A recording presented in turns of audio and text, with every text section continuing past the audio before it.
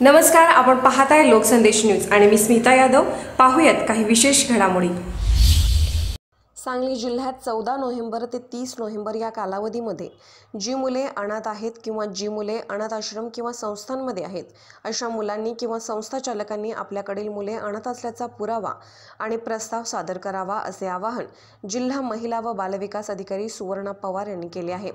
या विहित कालावधीत आपण अनाथ प्रस्ताव सादर केल्यास त्या मुलाला अनाथ प्रमाणपत्र दिले जाणार असून याचा फायदा त्या मुलाला आपले नागरिकत्व दाखला आणि एक टक्का नोकरीमध्ये आरक्षणासाठी लाभ मिळण्यासाठी होणार असल्याने चौदा ते तीस नोव्हेंबरपर्यंत आपला प्रस्ताव महिला बालविकास कार्यालयाकडे सादर करण्याचे आवाहनही सुवर्णा पवार यांनी केले आहे.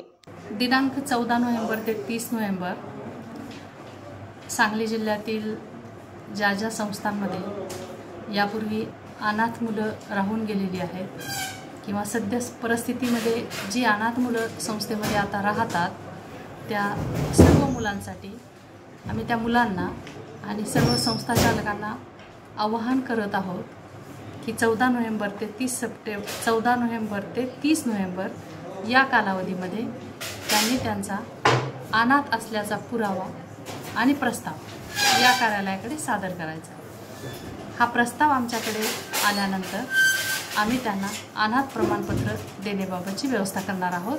की हे प्रमाणपत्र त्यांना त्यांच्या नागरिकत्वाचे दाखले मिळण्यासाठी आणि एक टक्का नोकरीमध्ये आरक्षण मिळण्यासाठी उपयोगी येईल. आमची विनंती आहे सर्व बालकांनी मुलांनी आणि संस्था चालकांनी चौदा नोव्हेंबर ते चौदा नोव्हेंबर ते तीस नोव्हेंबर अनाथ प्रमाणपत्राचा प्रस्ताव या कार्यालयाकडे सादर करावा.